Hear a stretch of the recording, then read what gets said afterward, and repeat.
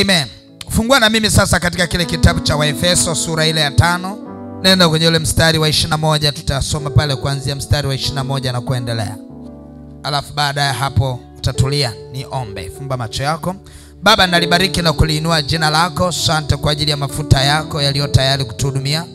Sante kwa ajili ya nguvu zako ambazo zipo tayari kutuhudumia. Katika jina la yesu kristo wa nazareth. Amen. Amen. Haleluya ikiwa leo ni siku yetu ambayo ni ya maharusi wetu lakini kitu wanachokifanya hawa maharusi haimaanishi ni wao tu wanachokifanya. Hapana kuna wengine ambao tayari wako kwenye ndoa zao na kuna wengine ambao wanatarajia kuingia kwenye ndoa. Haleluya. Kwa yote katika yote nataka niseme leo na maharusi wetu lakini niseme na kanisa pia. Sema amina roho bwana ataenda kutufundisha sisi tulio kwenye ndoa. Roho bwana ataenda kuwafundisha wenzetu hawa wanaoingia kwenye ndoa. Lakini roho bwana pia ataenda kutengeneza mazingira na kuwafundisha wanaotarajia kuja kwenye ndoa siku za karibuni. Haleluya na maandiko yanasema katika ile kitabu cha waefeso sura ya tano mstari wa 21 na kuendelea maandiko yanasema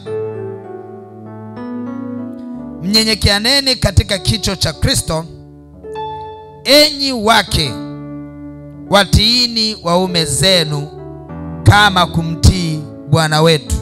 Kwa maana mume ni kichwa cha mkewe kama kristo naye ni kichwa cha kanisa naye ni mwokozi wa mwili lakini kama vile kanisa limtiivyo kristo vivyo hivyo wake nao wawatii waume zao katika kila jambo. Haleluya. Mstari wa 25 enyi waume wapendeni wake zenu. Kama kristo naye alivyolipenda kanisa akajitoa kwa ajili yake ili makusudi alitakase na kulisafisha kwa maji katika neno. Haleluya. Haleluya. Mara nyingi sana maandiko ni mwongozo. Muda wote maandiko ama neno la kristo ni mwongozo. Neno la kristo ni dira. Neno la kristo ni kanuni ambayo yoyote atakayefuata kanuni itokayo kwenye maandiko tayari huyu mtu anaishi maisha ya ushindi. Tunaona hapa maandiko paulo anawaelekeza waefeso. Anawapa kanuni ya maisha ya ndoa anawapa kanuni ya kiroho kabisa. Na kanuni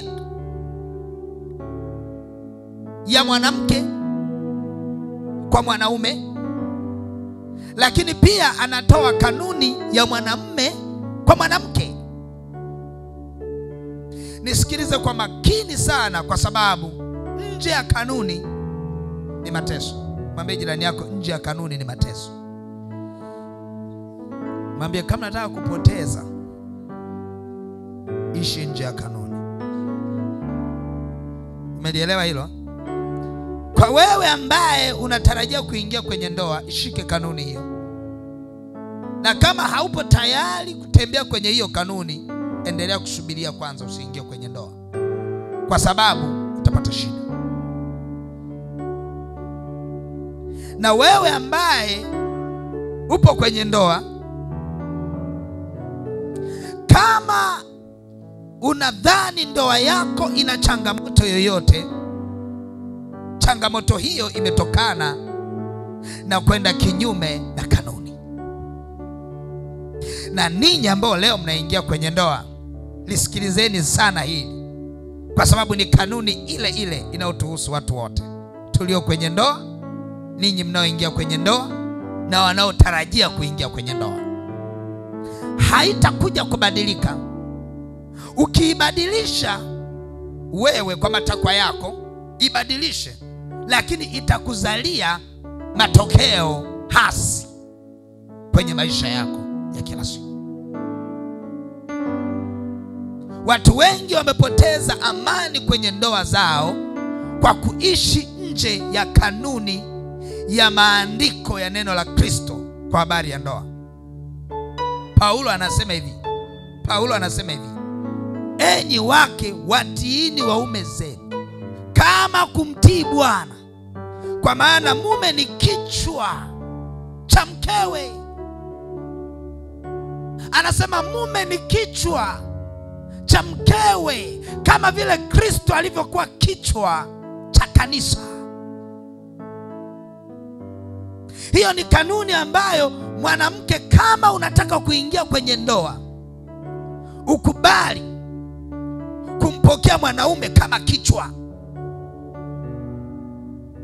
Haijalishi wewe una cheo, haijalishi wewe una fedha, haijalishi una uwezo, haijalishi amkini familia yako mwanamke ina, ina, ina, ni tajiri tayari tayari ulishaandaliwa mazingira ya maisha mazuri.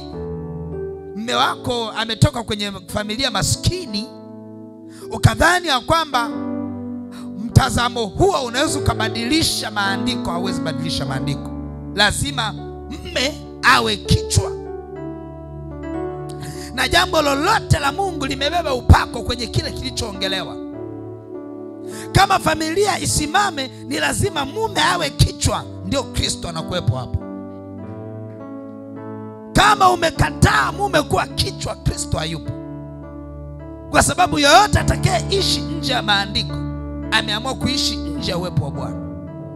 Maandiko yanaeleza, yanamtambulisha mwanaume kuwa ni kichwa. Kwa lazima mwanamke anavyoingia leo, Margaret, unaingia lazima ukubali kwamba a, a, a, George atakuwa kichwa.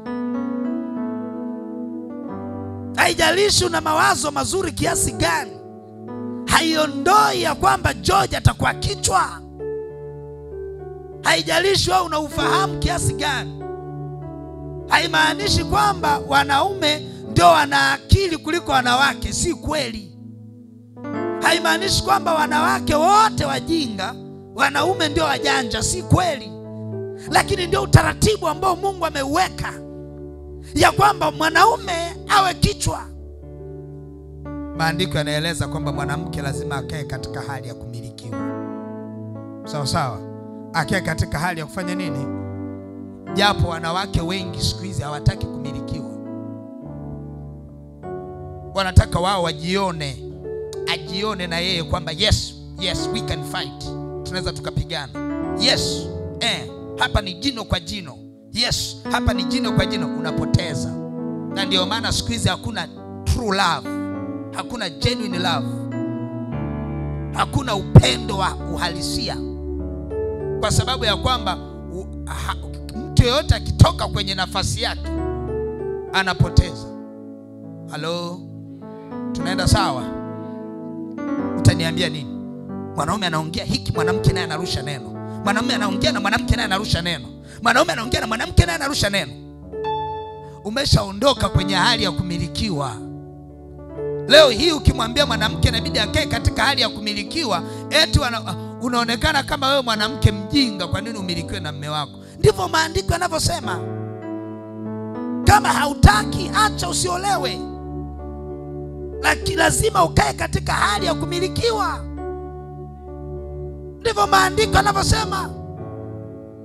Utii ndio kila kitu. Nilikuwa mara mara fulani nilikuwa na wabana wanaume na nyinyi ni mashahidi. Wanaume nimewabana hapa, nyinyi kwa nini hamuoi? Kwa nini hamuoi? Nikawaleta hapa, nikawabana, nikawabana, lakini nashukuru Mungu kwamba wanaume wa hapa ni watiifu sana na wana hekima, sawa sawa eh? Walinifuata wakaniambia, nikawaelewa Akaambia mchungaji, situone kwamba hatutaki kuoa, lakini hawa wanawake wengi hatuwaelewi.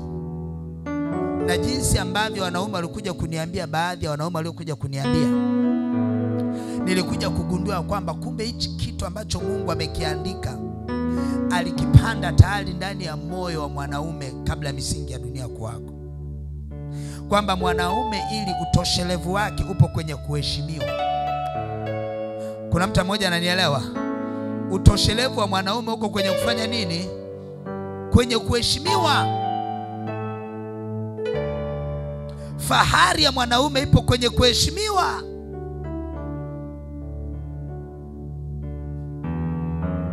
Na fahari ya mwanamke kabla misingi ya dunia kuwako, Mungu alishaweka fahari yake iwe kwenye kupendwa, ndio fahari. Hivi mnajua wanawake, ninyi mkiendaga kwa marafiki zenu huwa mnajidai nini? Mme wako anakupenda, si ndivyo? Eh? Ndio fahari yako, si ndivyo?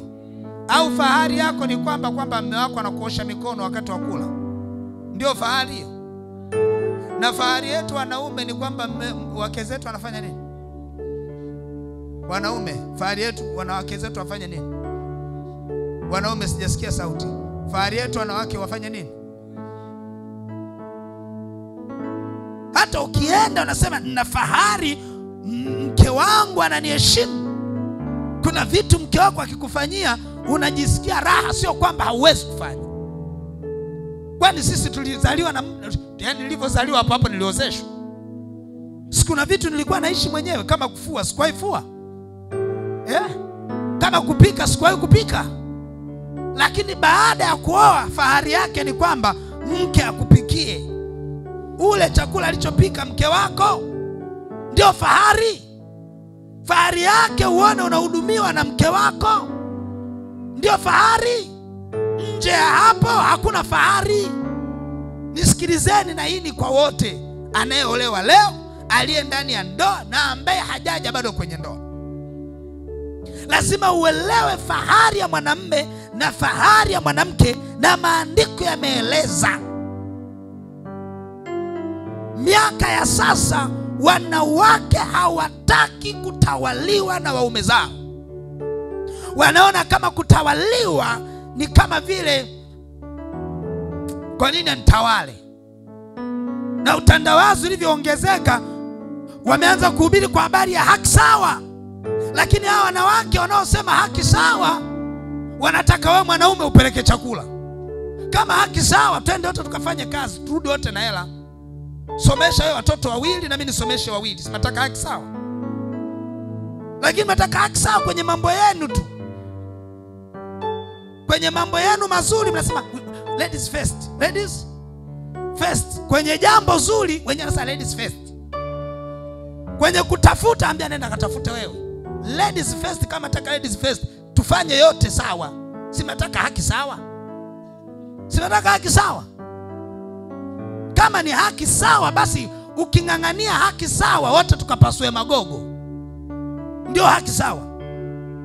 Lakini nikuambie kitu kimoja, maandiko yenyewe hayajaongelea kwamba mwanamume na mwanamke ni sawa. Si kweli. Alitangulia Adamu, akaja Hawa. Kama ingekuwa sawa, wote wangezaliwa kwa pamoja ting Kila mmoja amepewa wajibu wake, kila mmoja amepewa maelekezo yake. Hakuna usawa. Kuna vingine vinampasa mwanaume na vingine vinampasa mwanamke.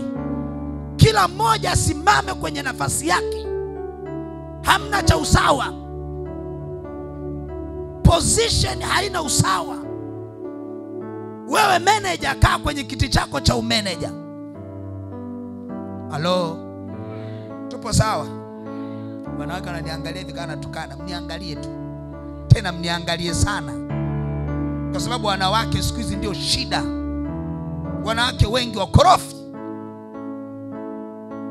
wengi wakorofi, alafu ndio wanung'unikaji. Wanawake ndio wanaokujaga, naona baba, nimepigwa. Lakini hivi mtu kweli anaamka tu asubuhi pa pa pa, anaondoka, basi ni kichaa. Yeye haongei ya kwake alivyopepeta mdomo mpaka mwanamke mwanaume akampiga, haongei, anaanzia kwenye kupigwa wengi wanaanzia kwenye fanya nini? anaanza baba, ona nimevimba. Umevimba, umeanzia wapi? Amenipiga hapa, ilikuwaje? Mwanaume sio kichaa, nyanyuke tu aanze ngo kimbia. Basi wewe unaishi na kichaa humo ndani, lazima kuna mahali ulijichanganya tu, lakini wanapojichanganyiaga wanawake huwa hawaongei. Na mimi siku hizi nawabanaga kweli wanaokuja kushtaki, na asilimia tisini wanaokuja kushtaki, ukiwaleta wote wanawake na wanaume, unagundua mwanamke ana shida.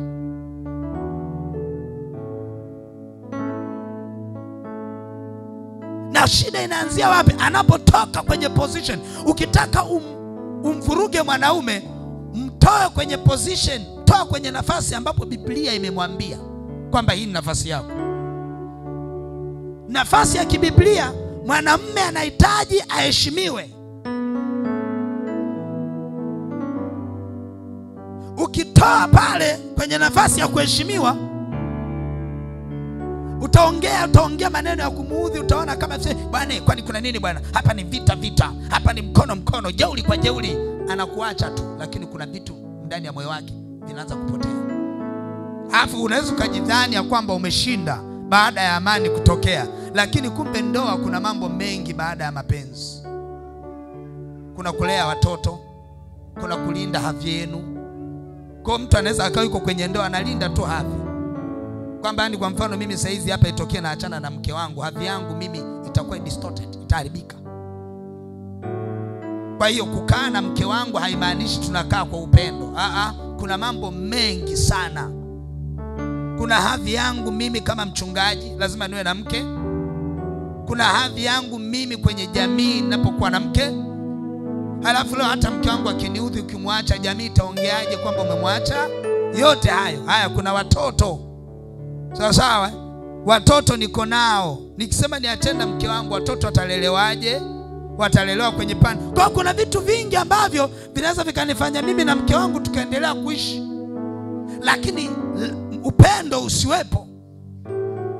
Upendo ili uwepo, ukiachana na vitu vingine vyote, ni lazima kila mtu akae kwenye nafasi ambayo Biblia imemtambulisha akae, ndipo hapo mtaishi mkiwa kwenye upendo, mkiwa kwenye amani na ndoa imesimama. Kuna mtu ananielewa mahali hapo? Kuna mtu ananielewa mahali hapo?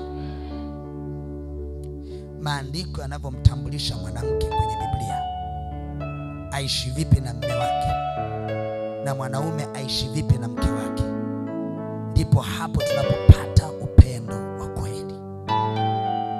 Nisikie vizuri ndipo hapo tunapopata upendo wa kweli. Nimekuwa nikifuatilia kwa nini ndoa nyingi safari hii miaka hii ya saizi ya saizi zinaharibika. Kwa nini?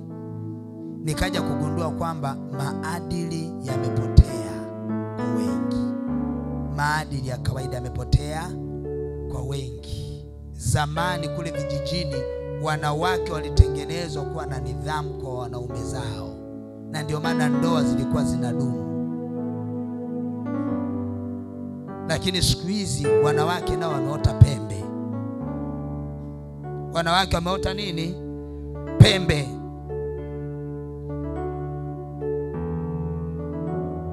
Ninaongelea nafasi ya mwanamke na nafasi ya mwanaume. Niko upande wa mwanamke sasa. Kuna mtu ananielewa? Ukipoteza nafasi yako umepoteza kila kitu. Position sawa sawa. Mwanamke, nafasi yako ni nini? Haya, huyu ni mwanamke sawa, eh? Eh? na huyu ni nani? Kuna watu watakagi hata kuambiwa. Unakutana na mwanamke humo ndani hataki kuambiwa chochote hataki kuambiwa chochote. Yaani mwanaume akitaka kwenda kumwambia mke wake eti mpaka ajipange. Ndio tulikofikia, mwanaume mpaka ajipange namna kuongea na mke wake. Eh, eh, nisie nikamvuruga, nisije nikamvuruga, nisije nikamvuruga. Nafasi, tunaongelea nafasi, nafasi Sawa sawa, niko kwa wanawake hapa, tuko sawa. Mseme kasema mchungaji leo ametupania wanawake. Nimesema hivi, naanza na wanawake, nitakuja na wanaume. Sawa, mnataka kunimeza wanawake, mnadhani labda ibada ya kwenu tu. Sasa mnataka nianzie wapi? Maandiko hapa yameanza na mwanamke, sasa mlitaka nianze kwa wanaume? Ndio ubabe huu ambao tunaukataa hapa sasa. Mtu anaanza kwa nini asianze na wanaume? Sikiliza, sinyewe ndio anajitaka ladies first. Sasa ladies first, tunaenda kazini, sawa sawa eh? Anasema enyi wake watiini waume zenu. Kwa hiyo mwanamke position yake, nafasi yake ni utii, sawa sawa eh? Ni maandiko, nafasi ya mwanamke ni utii, sawa sawa eh? Anafananishwa utii wake, anasema hivi, kwa maana mume ni kichwa cha mkewe. Haleluya! Mume ni kichwa cha mkewe. Kwa hapa amegusia kidogo nafasi ya mwanaume, kwamba mwanaume ni nani? Ni kichwa, sawa sawa eh? Mwanaume ni nini? Ni kichwa, ni nafasi hii, ni nafasi, ni nafasi. Haleluya! Anasema hivi, enyi wake watiini waume zenu kama kumtii bwana bwana wetu, kwa maana mume ni kichwa cha mkewe kama Kristo naye ni kichwa cha kanisa. Kwa hiyo inamaanisha mume mume ni kichwa cha nani? Mume ni nani? Ni kichwa cha. Kwa hiyo inamaanisha mume ni kichwa cha mkewe. Halo, kwa lazima uelewe wewe mume kwamba wewe ni kichwa kwa mke wako na wewe mke lazima ujue nafasi yako. Yupo kichwa, yupo kichwa. Kwa hapo, mkiendelea kusikiliza zile yale mafundisho ya mtaani, mtapotea, mtatoka kwenye Biblia. Huwezi ukasema haki sawa. Hamna haki sawa. Maandiko yanasema mme wako ndio kichwa, sawa sawa. Na kama mme wako ndio kichwa, natakiwa umsikilize katika yote. Ndivyo maandiko yanavyosema. Halo, halo, anasema hivi, mume ni kichwa cha mkewe, kama Kristo naye ni kichwa cha kanisa, naye ni mwo- ni mwokozi wa mwili. Lakini kama vile kanisa liitiivyo Kristo, vivyo hivyo mke wake nao wawatii waume zao katika kila jambo. Mwanamke kumtii mme wako katika kila jambo sio uchaguzi, ni maelekezo ya kibiblia. Hii mwanamke kumtii mwanaume kwa kila jambo sio jambo la kujichagulia. Kama umeamua kuishi rohoni, lazima umtii kwa kila jambo, hata kama kuna vitu ume- ume, ume, umevizidi, ume- ume, ume, ume, umemzidi. Sasa nitakuelekeza kama mme wako ni poyoyo kichwani hazipo. Haleluya. Hapo sasa ndio inabidi utii ujinga alionao kichwani hapo sasa. Na wewe ndio at least kichwani ndio zimozimu. Haleluya. Alafu mdanda mme ndio kichwani zina, zinaenda hivi. Na baada ya kwenda hivi zinaenda zinaenda hivi. Haleluya. Na maandiko yanasema ufanye nini? Umtii. Ni- Nitakujibu hilo sawa sawa eh? Eh, baki mke sasa baba nitamtije. Wewe mwenyewe angalia mwenyewe. Mwangalie kana hata nusu saa. Alafu uangalie katika nusu saa hilo nitamtii kwa lipi hapo. Eh, we mwangalie tu nusu saa. Haleluya. Nitakuelekeza namna ya kufanya, japo na wewe nitakuuliza sasa, na wewe ulimchukua nini? Kwani ukaa naye nusu saa ukajichagua ukaona kama ni sawa ama sio sawa? Haleluya. Anasema hivi, anasema hivi, kwa maana ah, mume ni kichwa Haleluya. Kichwa, head. Lazima wewe ujijue mwanamke, ya kwamba mume ni kichwa. Ni lazima usione aibu kuwaambia watoto wako kwamba baba ndio kichwa. Narudia, usione aibu kuwaambia watoto wako kwamba baba ndio kichwa cha familia. Haleluya. Kuna siku hizi kuna kauli zile wanatoaga eti mwanamke ndio waziri mkuu wa nyumba. Ujinga mtupu. Kuna waziri mkuu wa nyumba, baba ndio kichwa. Baba ndio kichwa.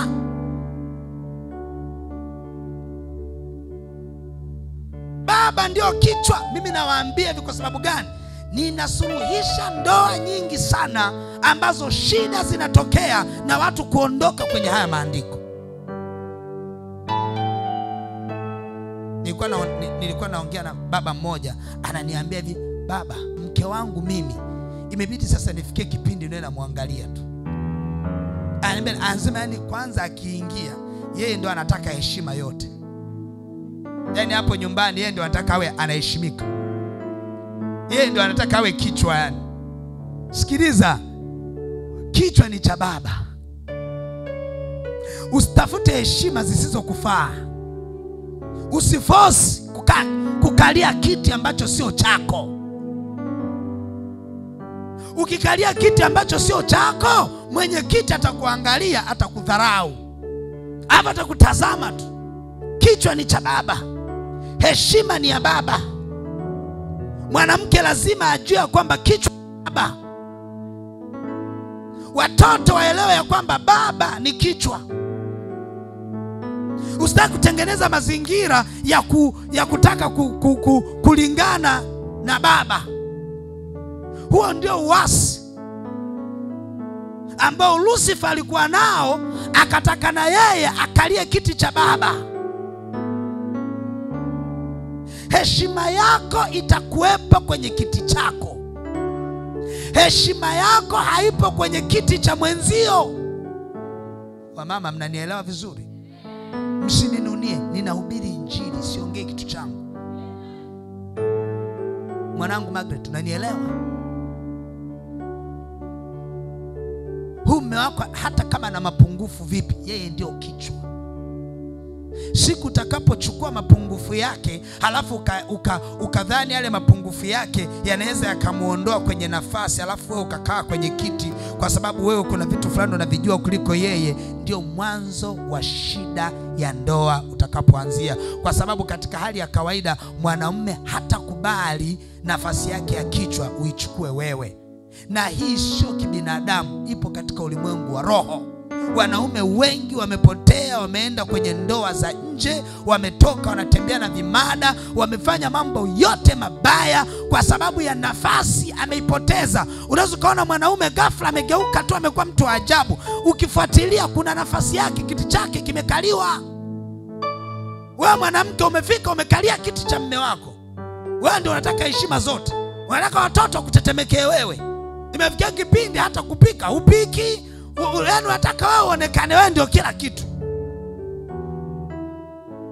Unawatreni hadi watoto waone kwamba wewe mwanamke ndio kichwa, halafu baba hadi hata jina halipo hapo, kwa sababu hakuna namna anaweza akapewa jina jingine pale nyumbani zaidi ya yeye kuwa kichwa.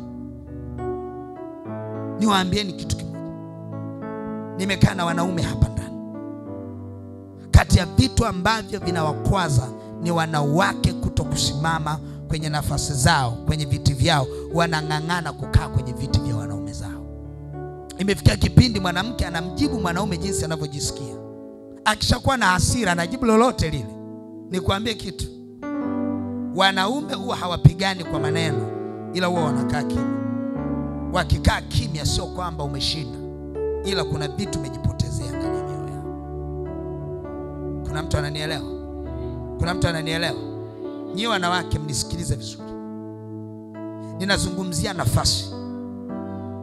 Mwanamke, nafasi yako wewe sio kichwa, mwanaume ndio kichwa.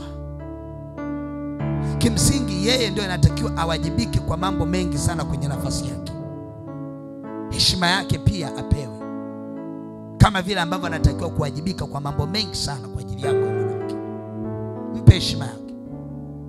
Kuna mtu mmoja akaja hapa, amekuja hapa, ningeweza hata kumsimamisha, hata hapa yupo, akaja akaniambia hapo ofisini, akaambia mchungaji, usione na kudharau, usione na kudharau mchungaji, mimi nakuheshimu sana mchungaji wangu, lakini changamoto, huu mwanamke bado simuelewi elewi. Nimekaa naye muda mrefu, lakini bado simuelewi.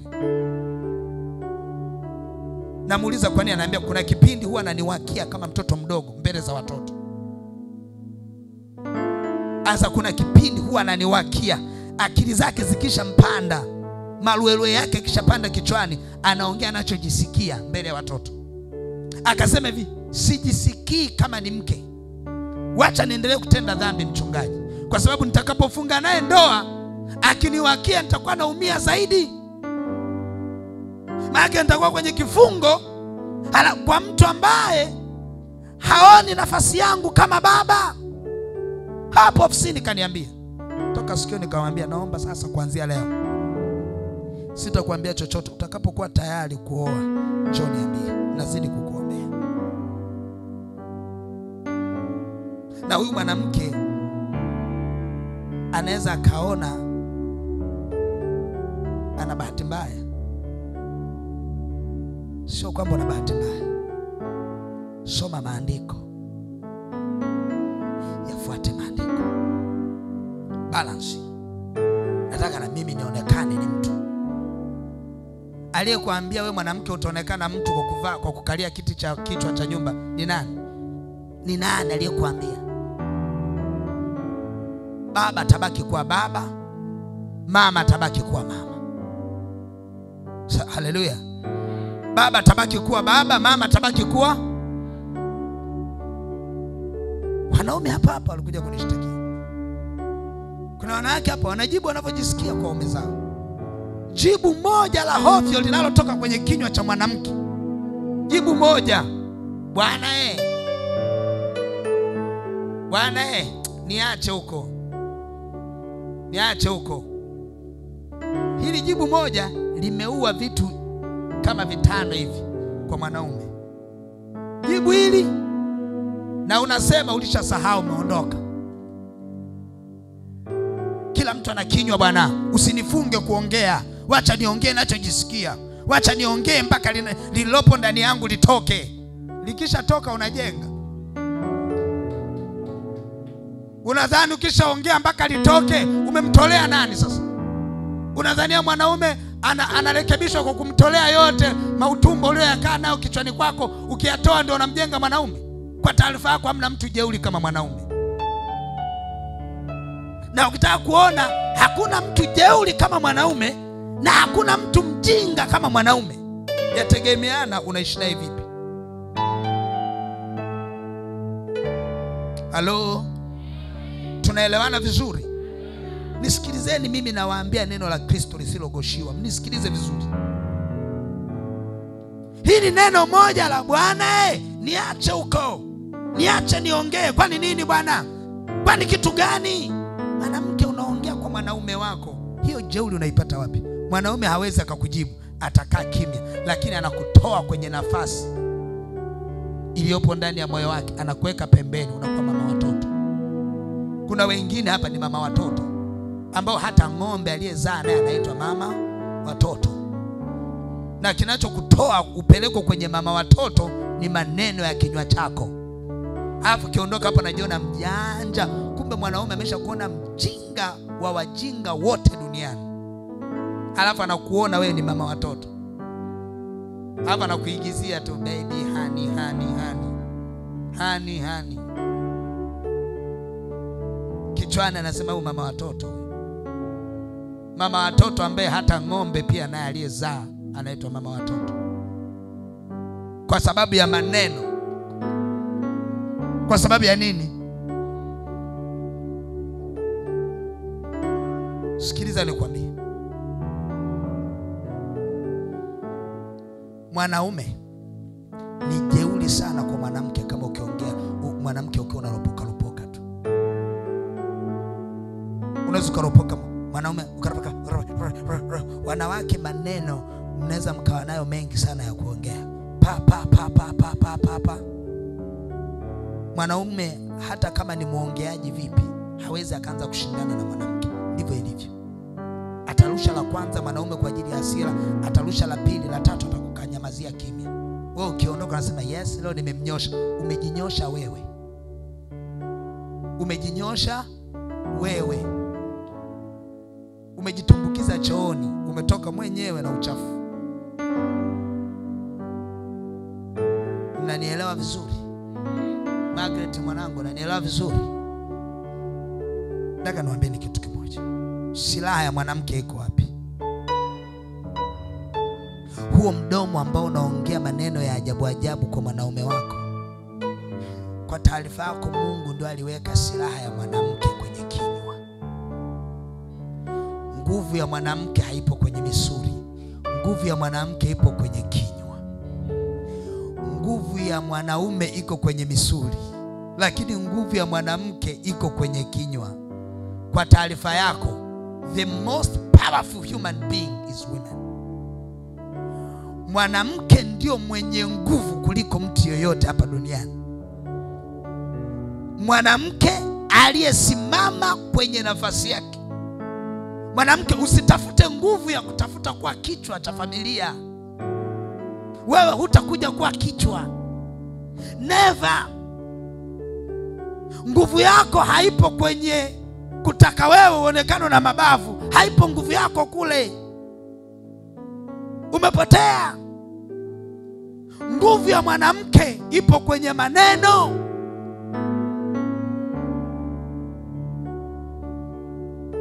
Hata maandiko yanatuasa jiepusheni na maneno ya wanawake, mtapotea. Ukitaka kujua kwamba mwanamke nguvu yake iko kwenye maneno, kaangalie Waamuzi, kasome kitabu cha Waamuzi pale kuanzia sura ya 14 pale kama 14 16 pale, utakutana na mtu mmoja anaitwa Delila na Samsoni. Sawa. Kasome stori ya Delila na Samsoni, utaiona nafasi ya mwanamke kwa mwanaume. Nisikilize, utaiona nafasi ya mwanamke kwa mwanaume. Nafasi ya mwanamke kwa mwanaume iko kwenye maneno ya kinywa. Hapo ndipo mwanaume anakuwaga mjinga. Mwanaume ndio pekee ambaye anaambiwa kwanzia leo usiende kumwangalia baba yako wala mamako. Anasema sawa bebe, usiende kumwangalia. Amekufa leo, usiende kumzika. Usiende, haina shida, usiende kumzika. Linakuwa jinga tu, mwanaume anakuwa mjinga tu lakini kwa maneno ya kinywa cha mwanamke ndipo Mungu alipowekeza nguvu. Samsoni anaambiwa nieleze siri ya nguvu zako, nieleze siri ya nguvu zako. Ambia ukinifunga kwa kamba, ukanifunga vishungi vyangu hivi, nguvu zangu ndo nilikuwekeza. Eh, kweli baby, ah, kweli baby ah. Analala, anambembeleza, anafunga, anamshtua, anasema Wafilisti hao. Samsoni linakata king kama zimekatika. Delila anarudi tena, e, umenidanganya bebi, umenidanganya. Samsoni analegezwa kwa maneno ya kinywa, ambapo ndipo Mungu alipowekeza nguvu ya mwanamke, maneno ya kinywa mpaka Samsoni anaambia ukinikata nywele. Amebembelezwa. Kumbuka, Samsoni alishajua nia ya Delila, lakini bado lilikuwa kaa jinga mbele ya, ya mwanamke. Hapo ndipo penye nguvu ya mwanamke. Kama kuna mtu anielewa. hapo ndipo penye nguvu ya mwanamke, maneno ya kinywa. Wanawake watakuwa wananielewa sana. Ni afadhali mme wako aende awatafute wanawake, anaweza akawakosa, wanaweza wakamkataa, lakini sio mwanamke aanze kumtafuta mme wako. Naongea uongo?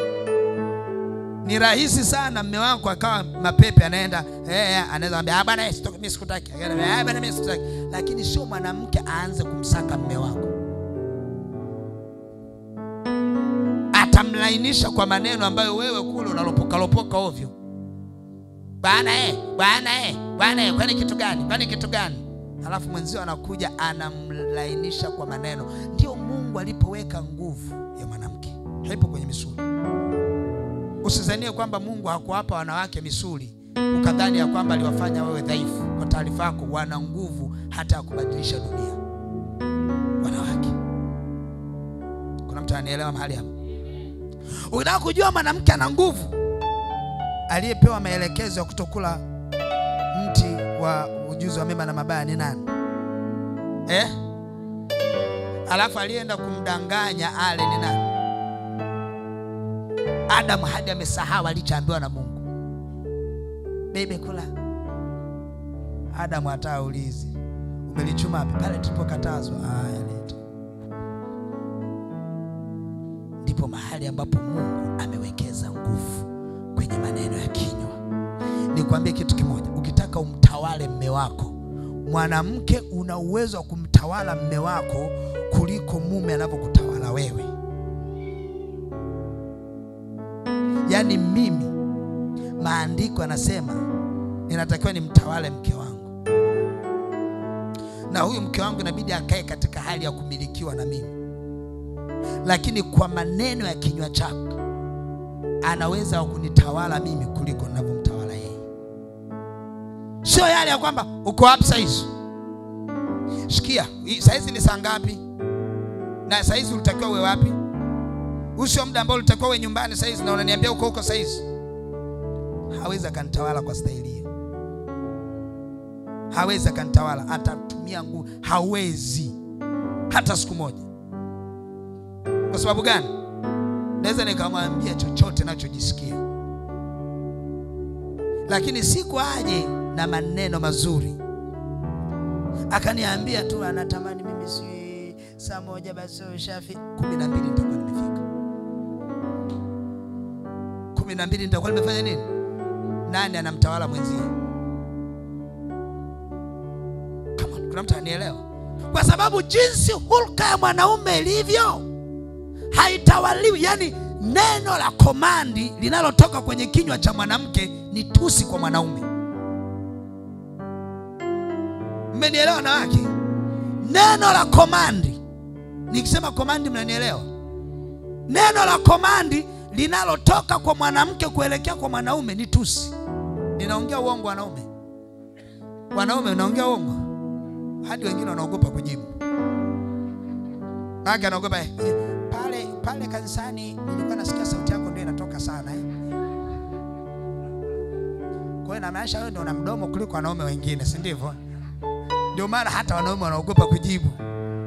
Ajibu Bali. anaziba hivi ili sionekane sauti yake. Ayua, nitaenda kuliwasha nyumbani, sasa nikajidai kidomodomo kanisani, naenda kuumia nyumbani peke yangu. Ninasema hivi, neno la komandi linalotoka kwenye kinywa cha mwanamke ni tusi kwa mwanaume. Uongo naongea wanaume, naongea uongo. Kwa hiyo uki, ukidhani ukiongea neno kwa komandi umemkomoa mwanaume. Kwa taarifa yako, kati ya kitu ambacho mwanaume kinaingilia huku na kinatokea huku ni pale ambapo mwanamke utaonyesha jeuri, hata kama ni chembe ya haradani. Mwanamke ukionyesha jeuri, hata kama ni achembe chembe ya haradani, kwa mwanaume kimeingia huku, kimetokea ugani, umejilisha upupu. Wacha niongee, ah, niache niongee mpaka yaishe.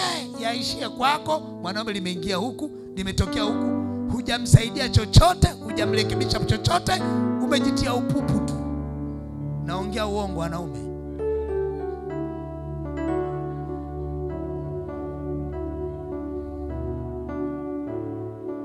Manake wanawake wanasema bwana, wacha niongee, wacha na mimi niongee. Kwa taarifa yako, ukitaka kumrekebisha mwanaume ni pale ambapo uko naye unaanza kumwambia naomba niongee naye, unamsogelea, halafu unaanza kuongea naye kama Delila mbele ya Samsoni. na kuambia huyo mwanaume utamgeuza unavyotaka wewe ageukie. Usidhani hasira zako na kusema bwana, wacha mimi niongee, eti nadhani ukiongea sana eti ndio unamsaidia. My friend, unajidanganya mwenyewe. Eti anaongea hivi na unarusha, mwanaume anakuangalia wazai, anaondoka zake hivi, amekudharau mpaka mwisho, kwa sababu mwanaume hawezi compete. Nguvu ya mwanaume na nguvu ya mwanamke sources zao mahali zilipokaa zimekaa tofauti, sawa sawa. Mwanaume ukitaka umcontrol, Mungu alishatengeneza, alikiweka hicho kitu kwa kila man, anaitwa mwanamke. Hicho kitu Mungu alishakiweka cha kumdhibiti mume wake. Sasa kwa mfano mimi hapa hivi, unanidhibitije? Yaani unidhibiti kibabe, unanidhibitije? Kwa mfano unanidhibitije? Unaanzaje kunidhibiti? Bwana pende pende pende, nitakuangalia nakwambia, ndugu yangu, kama kuna hela huko ndio nitaenda. Kwa sababu gani?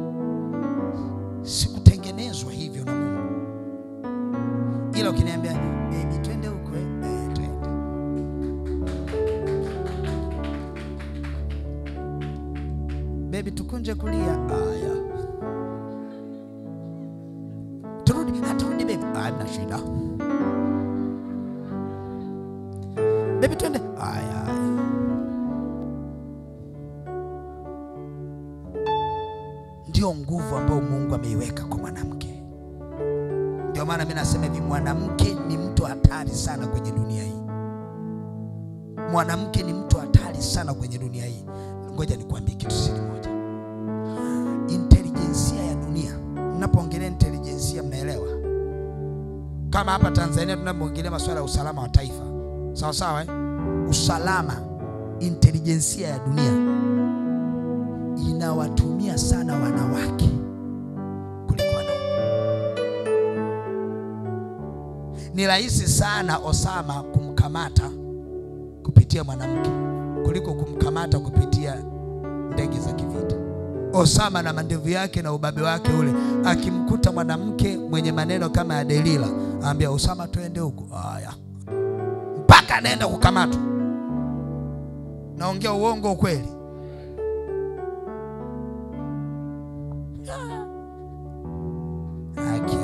Wanawake mmepona? Wangapi bado mnanipenda? Bado mnanipenda vizuri eh? Sijawakwaza. Nina naongelea nafasi kwa sababu mimi napigana na nafasi sana. Alafu unaweza usini kwa nini kuna mazingira mengine napigana na wanawake kuliko wanaume? Kwa sababu kuna mazingira mengi hatima za wanawake, hatima ziko kwa wanawake kuliko kwa wanaume. Hivi toka tumeanza kuona ndoa, ni nani alikuwa anamfuata mwenzie? Mwanamke anamfuata mwanaume ama mwanaume anamfuata na mwanamke, anafuata anamfuata mwanamke? Hiyo ni nafasi, si ndivyo? Lakini ukishaondoka kwenye hiyo nafasi, umeharibu system nzima. Jinsi ilivyotengenezwa, hatuwezi tukawalaumu wanawake au wanaume, tutawalaumu wanawake ile hali ya urahisi wa wanawake ndio inayoharibu mfumo mzima. Huwezi kumlaumu mwanaume. System ya ndoa imeharibiwa na wanawake. Leo hii watu wengi ndoa zimekufa, haziendi kwa sababu ya wanawake. Wanawake ndio wanao control system nzima. Hamna sehemu yenye ndoa ambapo mwanaume ana, ana, ana, ana, ana mahali anaweza akasema yes or no. Yule mtu aliyepewa nafasi ya kusema yes au no, huyu ndio alaumiwe. Tupo pamoja? Mtu, ali, mtu mwenye nafasi ya kusema ndio ama hapana ndio alaumiwe.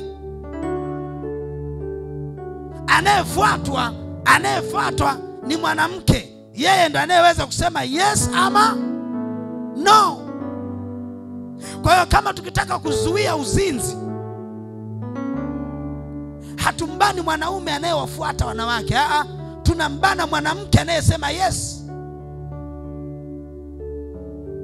Kufuatwa utafuatwa tu, lakini wewe ndio uliobeba nafasi ya kusema ndio ama hapana. Sasa tumlaumu aliyekufuata ama tumlaumu aliyekubali?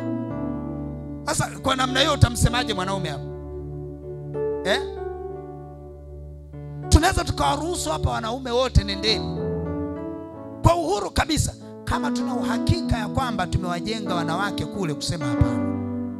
Hatuna hofu ya kusema wanaume nendeni, lakini saa hizi hatuna namna, tunaweza tukawaruhusu wanaume tukasema nendeni, kwa sababu najua wakienda tu wamekula mtaa mzima. Kwa sababu gani? Hakuna hata mtu mmoja atakayesema hapana.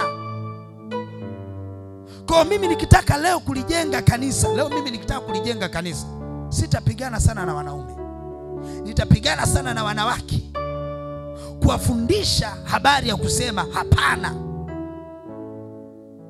Wanawake wakishasema hapana, tumeshaliokoa kanisa. Tuko sawa mpaka hapo? Tunaenda sawa? Maandiko yanaeleza kabisa ya kwamba mwanamke yeye kazi yake ni kutii sawa sawa eh? sasa mwanaume hapa tunaona maandiko anasema yeye afanye nini apende sawa eh? sawa sawa eh? sasa hapa sasa ndio tunapokuja kwenye usawa hapa ndio tunakuja kwenye nini kwenye usawa. Kwamba mwanamke inabidi achochee upendo. Hivi mwanamke akitaka kuchochea upendo kwa mwanaume wake anafanya nini? Lazima afanye nini? La, ukitii unazidi kuchochea nini? Upendo.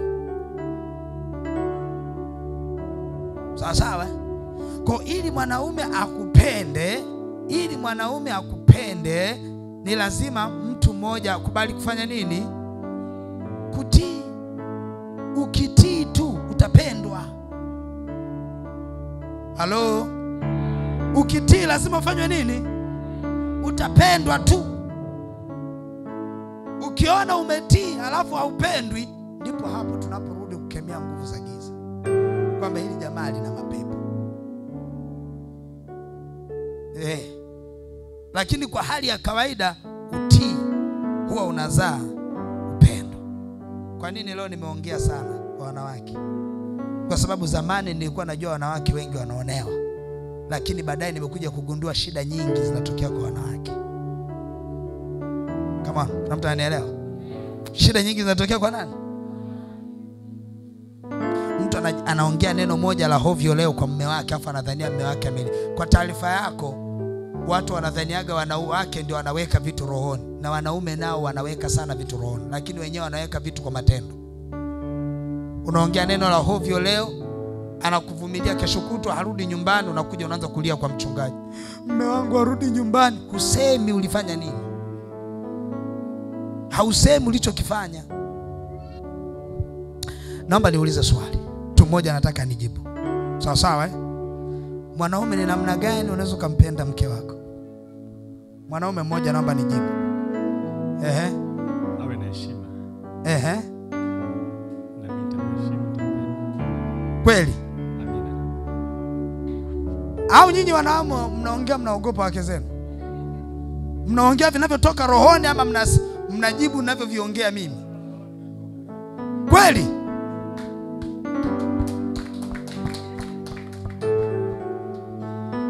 Eh, kwa mfano atembee kwenye kanuni za, za, za Biblia, ehe, atimize wajibu wake na mimi nitimize wajibu wangu, kwa mfano wewe akutii kwa mfano afanye nini? Aniheshimu na afanye kazi ambayo ni ya, ni ya kusababisha mimi nimpende. Kwa mfano kama ndio hivyo kazi zake, labda pika kupika, kufanya vitu ambavyo vinanifanya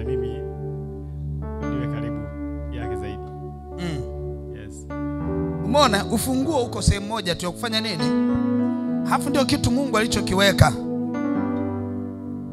Leta maiki kwa wanawake, mpe nani. Kwani wewe unataka nini kutoka kwa mume wako? ni upendo, ni kupendwa. Upendo. Wewe unataka kupendwa tu. Ninachokihitaji tu kwa mume wangu ni upendo, ule upendo wa kweli, Upendo wa kweli. Upendo, wa kweli. unapoongelea upendo wa kweli unaongelea nini? Naongelea upendo usio na unafiki. Very good. Kuna mahali ameongea amenigusa. Upendo usio na unafiki. Kuna upendo wa kutimiza wajibu na kuna upendo usio na unafiki. Na usipojiangalia unaweza kuwa unapendwa kutimizwa wajibu, lakini sio upendo wa kweli. Upendo wa kweli kwa mwanaume unatokea kwenye utii. Ukiona mwanaume amekupenda, unataka kujua upendo kama ni genuine, kama ni wa ukweli, upendo huo lazima huo umetokea kwenye kutii. Kuna mtu amenielewa? Ukitaka kugundua kama ni upendo wa kweli, lazima utokee kwenye nini? Kwenye kutii. Ndio upendo unaozaliwa ndani. Hivi anayetakiwa kuanza hapo ni nani?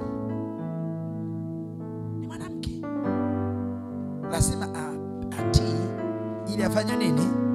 Apendwe. Kila mtu anatimiza wajibu wake. Sawa sawa. eh? Huwezi wewe ukasema hivi, mimi mpaka unipende ndio nitakutii. Basi ujue hiyo akijazaliwa. Ni lazima uanze kutii ili ufanye nini? Kila kitu kinazaliwa kina mahali kinapozaliwa kwa nini mwanamke aanze kibiblia mwanamke ndio mwanzilishi yeye ndo anayezaa yeye ndo anayefanya nini? Yeye anayezaa. Na ndio maana yeye inabidi aanze kutii ili apendwe kwa sababu yeye ndio anayezaa ndio producer. Mungu alivyomchukua mwanamke mwanamke amekuwa created ameumbwa ili azae. Na yeye ndo anayeanza kuzalisha upendo kwa kutii. Yeye ndo anayezalisha upendo hazalishi utii. Aa, anazalisha upendo kwa ujauzito unaoitwa utii. Maneno ya kinywa yana nguvu ya kumgeuza mme wako vile wewe utakavyo. Sawa sawa eh? Bwana Yesu apewe sifa. Kwanza, cha kwanza mimi namshukuru mchungaji, katufundisha vizuri. Hii ni neema kwa ambao ambao wanaishi kwenye ndoa na ambao tunajiandaa kwenye ndoa. Kuna wengine hapa tumechana wenza kwa kukosa elimu, lakini kama tungekuwa na elimu kama hii, mengine yasingetokea. Lakini tunashukuru ya kwamba tumepata baba mwema ambaye anatufundisha kupata tena safari nyingine mbele.